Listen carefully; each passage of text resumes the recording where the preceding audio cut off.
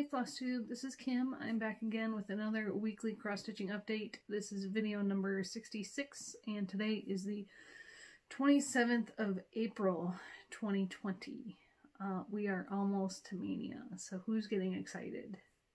This girl right here. Um, I worked on three pieces this week, so let's get right to it.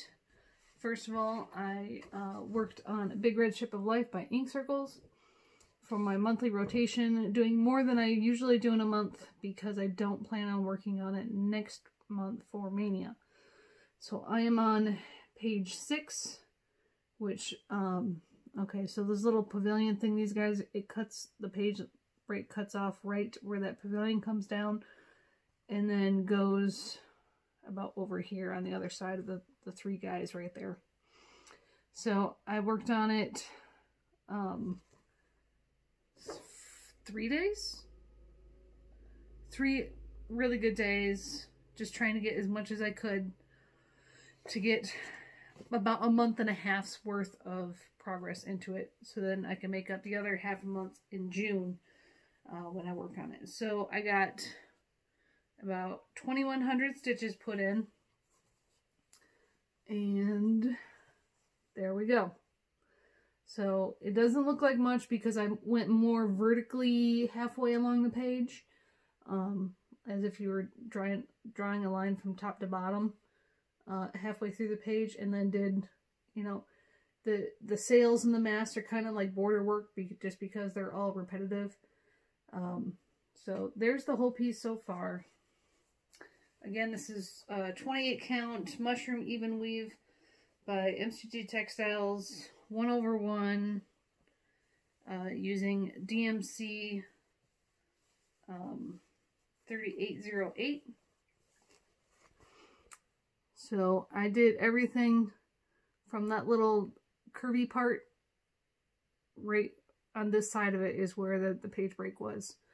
So the, the side of all these motifs, the mast, attaching the sail, all of this I did and then the bottom of the sail. That's where the uh, page ends.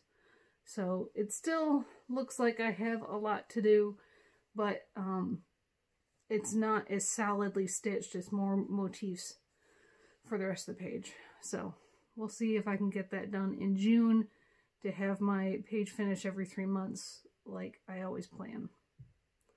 So that is Big Red Ship of Life by Ink Circles. And the next thing I worked on was the Peppermint Purple uh, 52 Weeks of Black Work. This is a free stitch along uh, on her Facebook page. You have to join the, the Facebook group that I always have linked below when I show this piece.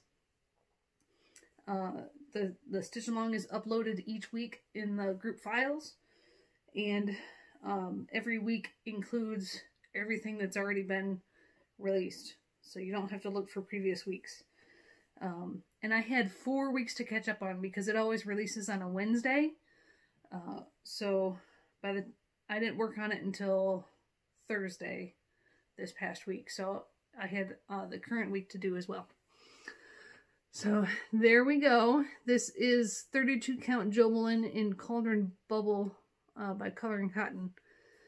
And there we go. So I did the three down here on this row as well as um, this brown one over here.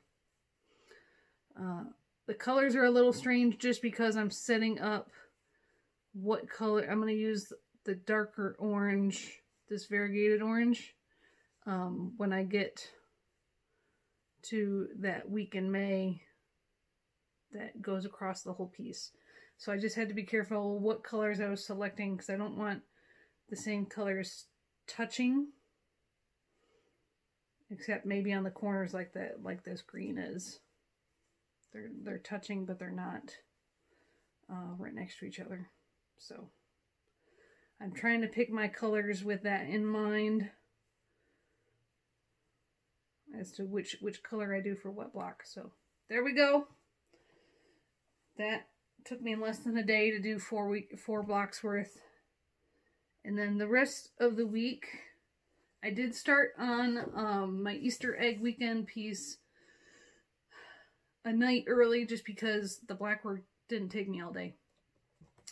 So I worked on a supersized color expansion museum shelf. I am down here in Dinosaur Corner working with the Stegosaurus, the T-Rex tail, and the book with the Mastodon.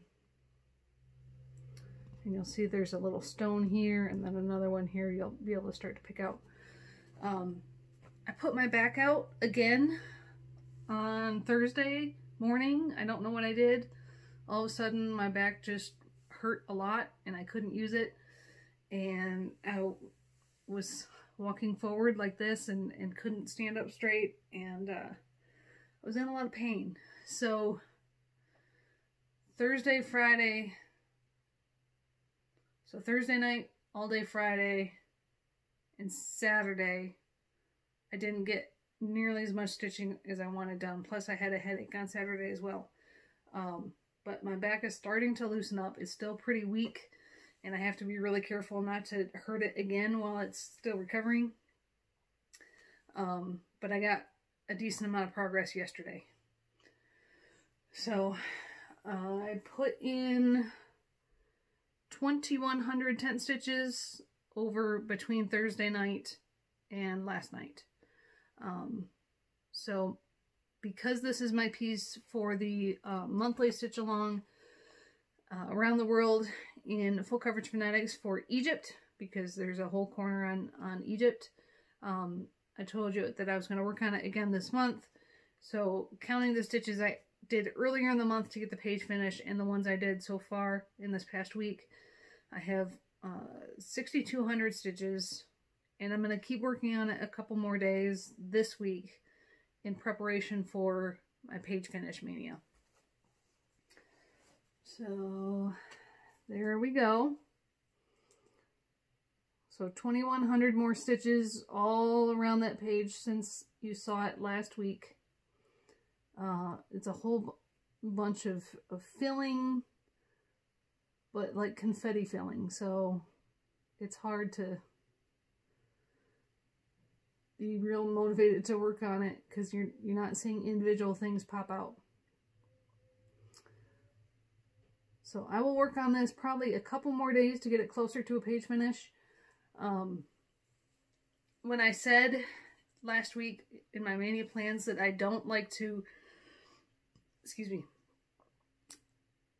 I don't like to set myself up for page finish mania. What I meant is like throughout the entire year, I don't purposefully put away a piece knowing that the next time I pick it up will be for Mania. Except for like these last few weeks before Mania, I was like, oh, okay. Now I can set myself up. So um, I will get this close and close to a page, a full page, and then the partial page down here. Um, so I'll get this close this week to a page finish, and then I'll put it away um, not that I need a break from stitching on this piece. I need a break from dealing with the massively large frame. Um, I love my PVC frame. And if you ever have questions, I always, every time I show this piece, I always put uh, links to my videos where I talk about how I make it and um, different things about it. I put those links in the description whenever I show this piece. So um, it's hard to deal with, especially when you're trying to get over a hurt back. So I've just been extremely careful. Um, I sit differently when I'm working on this piece compared to when I work on a Q-snap.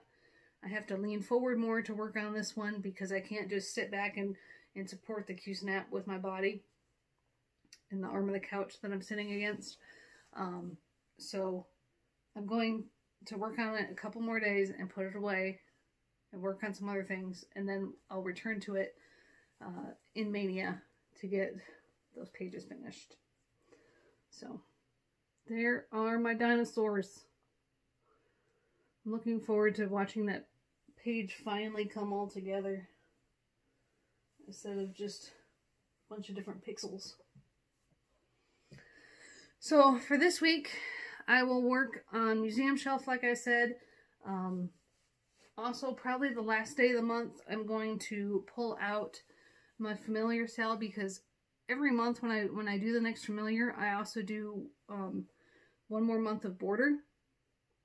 So I'm always two blocks ahead.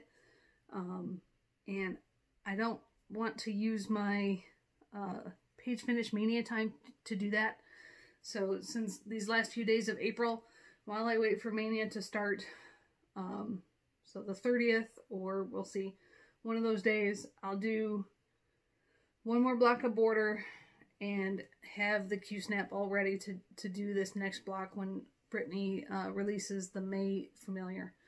She has already given us a sneak peek in her Facebook group, and um, I saw it when she first posted. I haven't seen everybody else's comments yet, uh, but I wasn't able to guess what it was.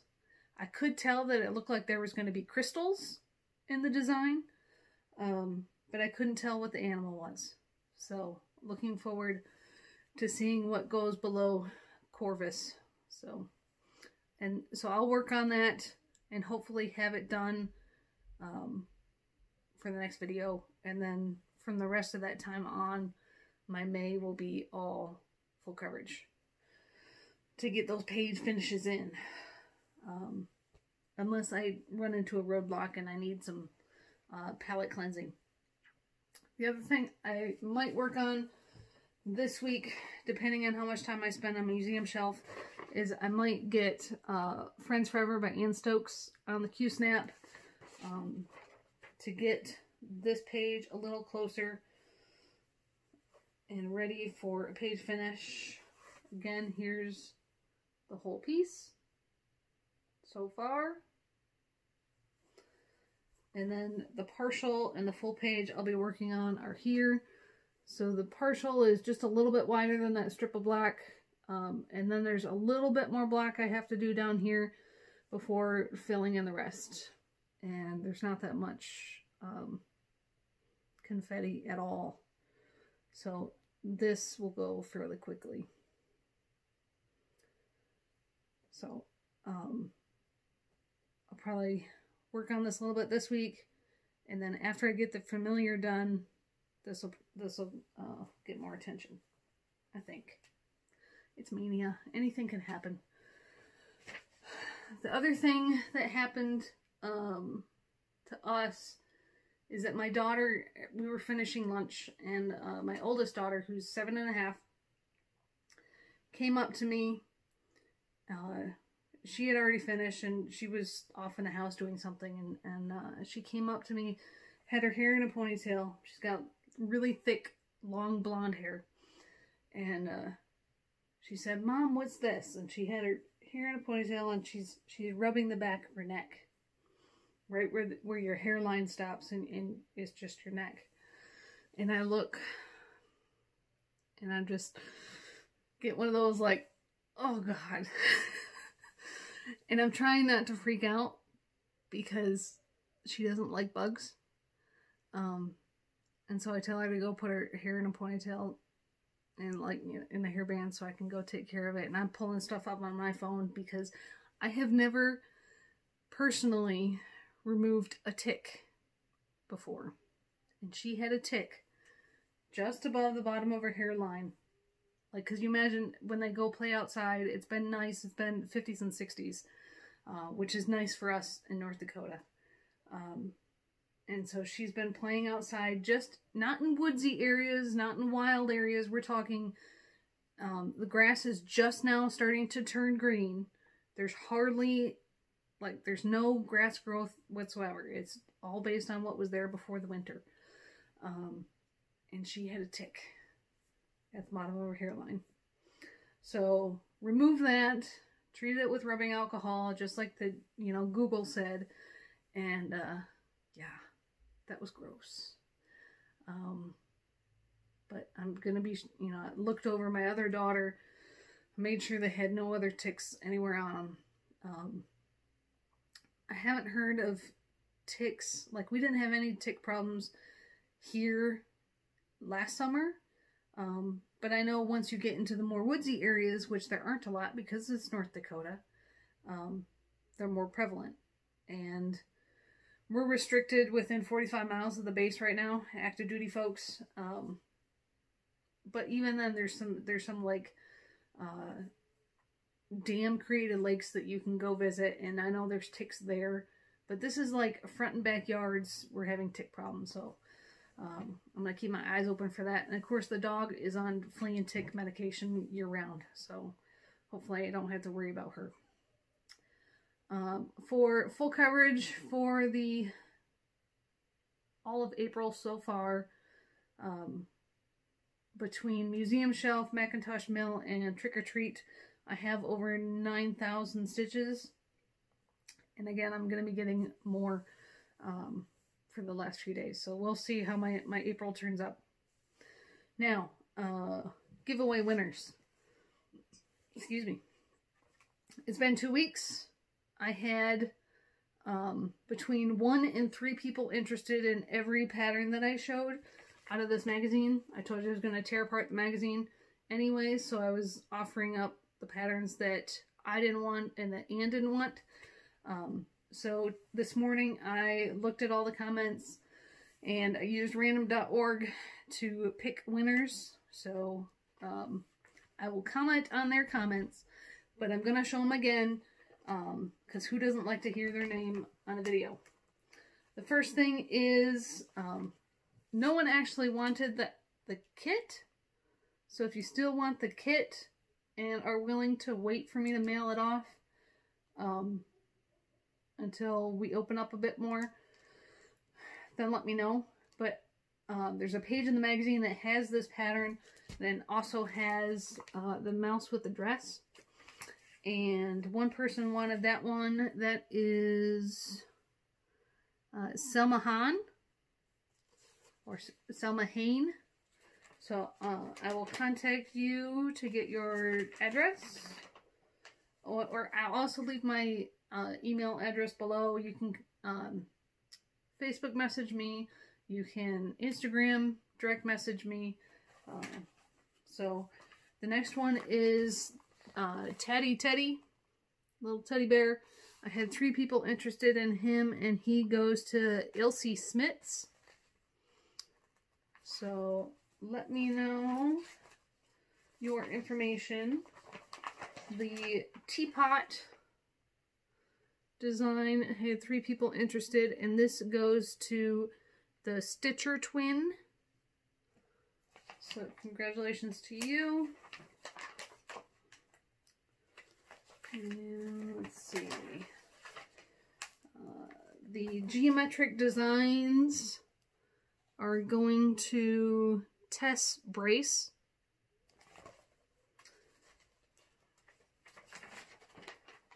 Uh, the little cute little alien cards by Lucy Heaton are going to Karen Davis Macon. And let's see. Um, I did have someone, I told you that the, the panda and the bride would be an either or because they do share a page.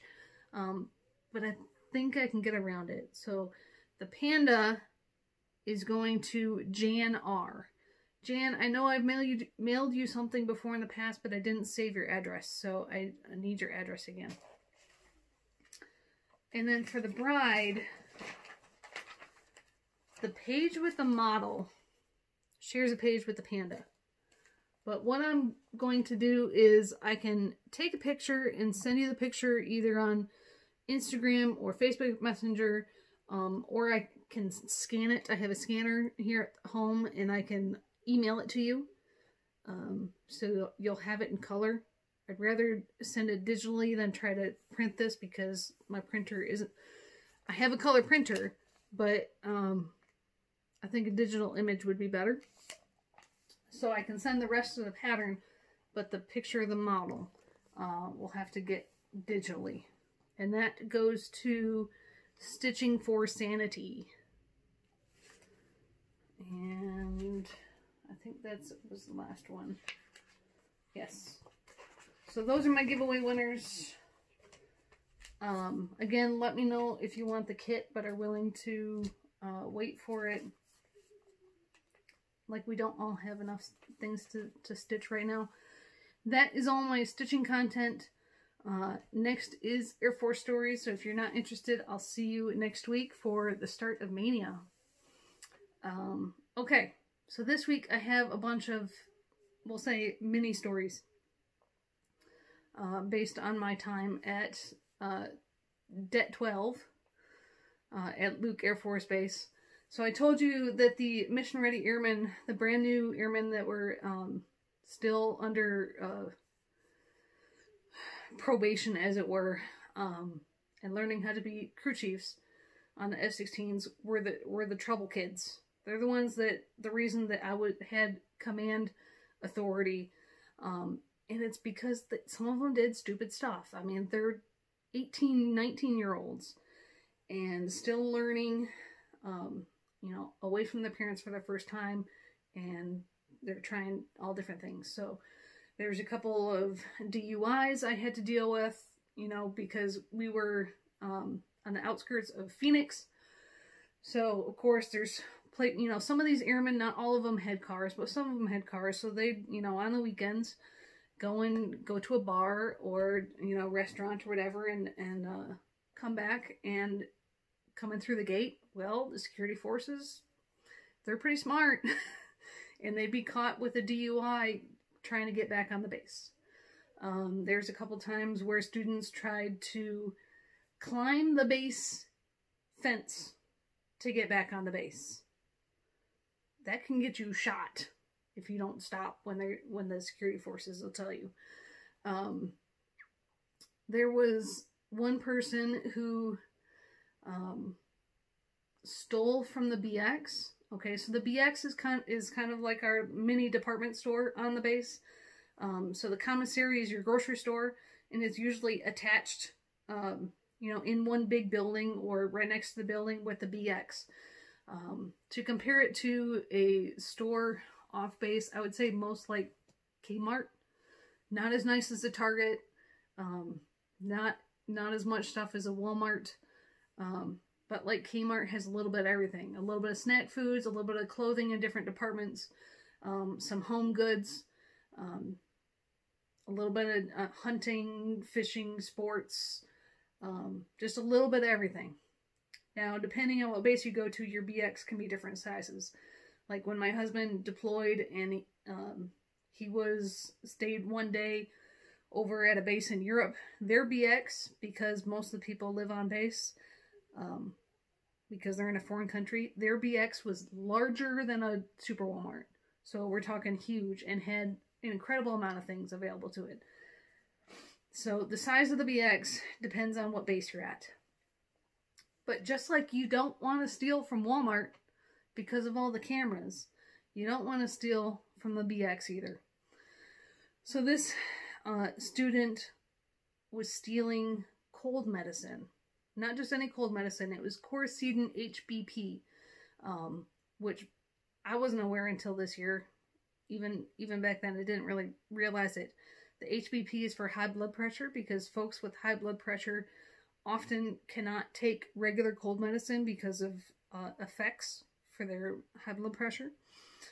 And the student was stealing this because he was taking more than the um, directed dose with the intention of getting high. So, yeah. Uh, needless to say, he didn't stay long in the Air Force. But it was amazing. You know, I was able to stop at the BX and go in their little camera room, and I could see how they could um, manipulate the cameras and zoom in and, and just watch exactly what he was doing. I mean, there's no chance. Even in Walmart, um, there's no chance.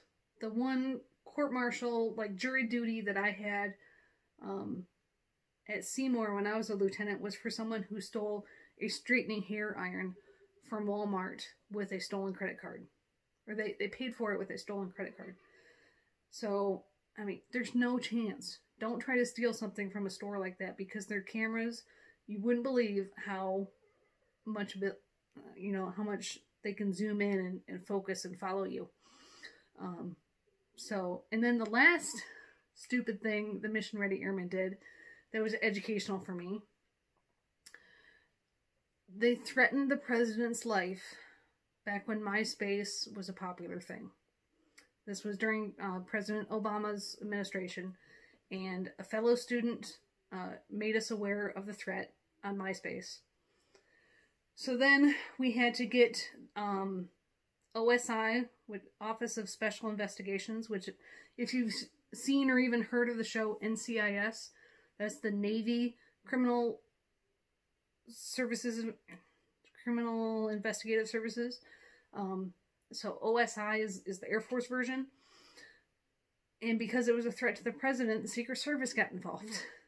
Um, did you know there are Secret Service offices all across the country? Not just in Washington, D.C.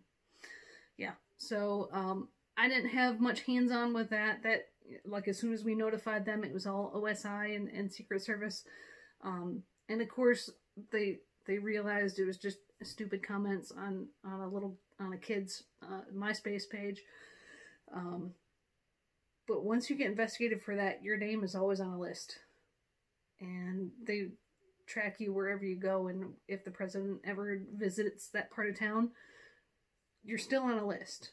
Like that kid is probably low on the list, but he's still on a list. So that was interesting. Uh, more mini stories. I'm wearing this shirt not because it's attractive. I know it's a really bright color and there's a reason for that. Um, the couple years that I was at Det 12, they had a uh, a flag football team because the base had intramural, like between squadrons, intramural flag football. And since my guys, my my 50 or so instructors, most of, almost all of them male, um, they like to play football. They're they're maintainers. And so they had a intramural football team. Well, I wasn't going to play intramural football, but I would go to the games and cheer. So I get a shirt and I, my number is number 12 on the back and it says Le Capitaine. And my husband, for the year that he was at Luke, uh, before he retrained, he also played on the Dets team. So my husband had a t-shirt. So I was going to the games to cheer on my guys and also my husband, who were all playing together. And of course, um, while you're playing, you, you get team t-shirts made. So this is uh, the team t-shirt. And of course, you try to go for colors that other squadrons haven't already used. So that's why it's a garish bright green uh, t-shirt.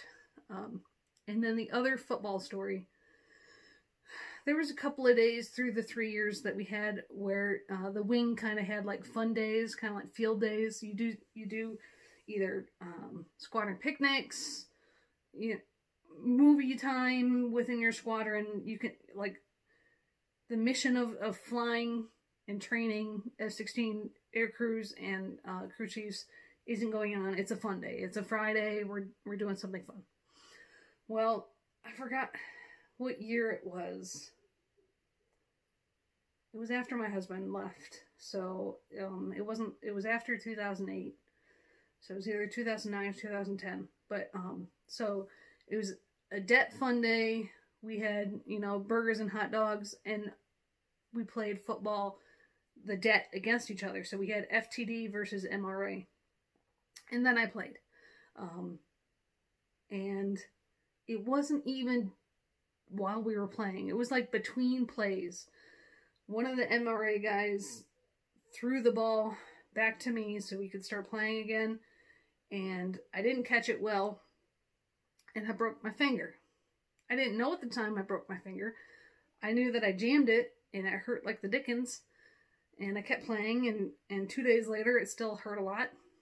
And uh, went went to the med group and got an x-ray and I had uh, two diagonal breaks on my finger you can see my, my pinky doesn't uh, go the rest with the rest of my fingers and I can't close it as tight as I can do this this finger. So um, one of my MRA guys broke my finger. I'll never be the same, but I can still use it, just not grip really tight with that finger. Um, and I can't make it unless I push. so uh, yeah, I always I continue to give that uh, instructor some shit because he broke my finger. Um, so those are the mini stories from the Det. I have a couple more stories, One of them is not good, um, and I don't know whether to, to talk about it or not. Um, it, was, it was an instructor fatality that I had. Um, while I don't want, no one really wants to hear about a death, I think the process that we go through th through the Air Force might be interesting. Um, so I don't know if I'm going to share that or not. But if I do, I'll certainly give uh, warnings beforehand if you don't want to hear that. So that is all for now. I hope you guys all have a good stitching week. Have a um, the, for the rest of April and a good start to Maynia. And we'll talk to you next week. Bye, guys.